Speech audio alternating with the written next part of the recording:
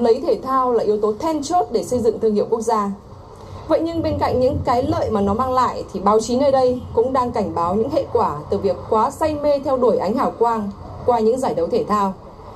Nói như trang báo Al Arabia thì cuối cùng đổi mới sáng tạo mới là động lực để thúc đẩy quốc gia đi lên.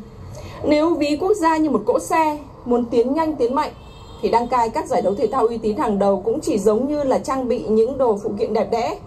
Còn không có đổi mới sáng tạo thì chỉ giống như những cỗ xe thiếu động cơ mà thôi. Vân Anh, phóng viên truyền hình Việt Nam từ vùng Vịnh.